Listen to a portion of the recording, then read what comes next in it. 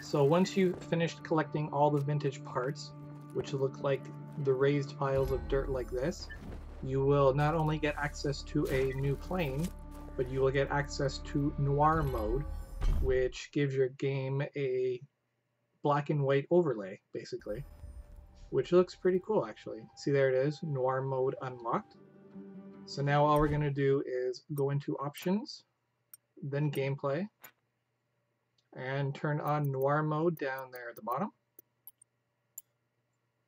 Back out. And now you're in black and white mode. And everything looks pretty cool with this overlay.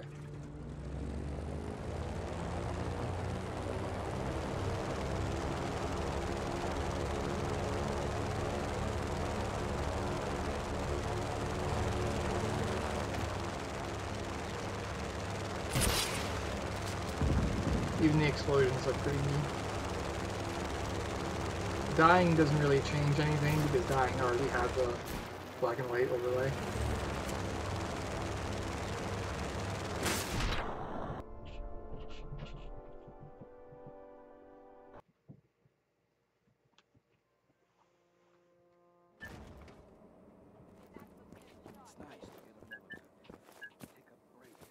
So here, let's go blow up tank. Why not? Definitely has a pretty, pretty nice feel to it.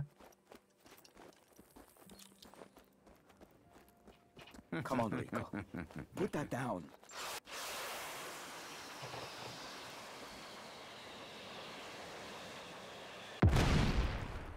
That never gets old. Whoops. And basically to turn it off, do the same thing. Options, gameplay, swap it off, and head back. Thanks for watching.